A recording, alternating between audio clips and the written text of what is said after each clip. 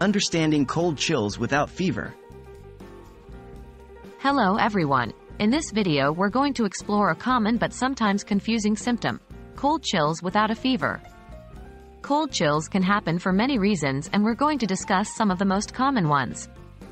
Remember, this information is not a substitute for professional medical advice. If you're feeling unwell, it's always best to consult with a healthcare professional. What are cold chills? First, let's discuss what exactly cold chills are. Chills are often associated with feeling cold, goosebumps, and sometimes shivering.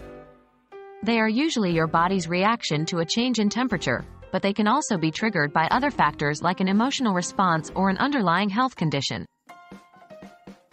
What causes cold chills without fever? Now onto the main question. What causes cold chills without a fever? While we usually associate chills with fever, it's possible to experience them without a fever. Here are some common causes. 1. Anxiety or stress. The body can react to stress or anxiety by going into a fight or flight mode, which may result in chills. 2.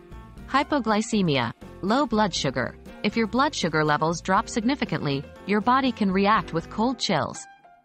3. Hypothyroidism. An underactive thyroid can cause your body to feel cold, which may result in chills. 4. Certain medications. Some medications may cause cold chills as a side effect. 5. Infections. Some infections can trigger chills even if no fever is present. When should you seek medical attention? It's important to note that if your chills are persistent, severe, or accompanied by other worrying symptoms, you should seek medical attention. Some symptoms to look out for include unexplained weight loss, persistent fatigue, or changes in appetite. In conclusion, cold chills without a fever can be caused by a variety of factors, from stress to certain medical conditions. It's important to listen to your body and seek medical attention if necessary. Stay healthy and take care of yourselves.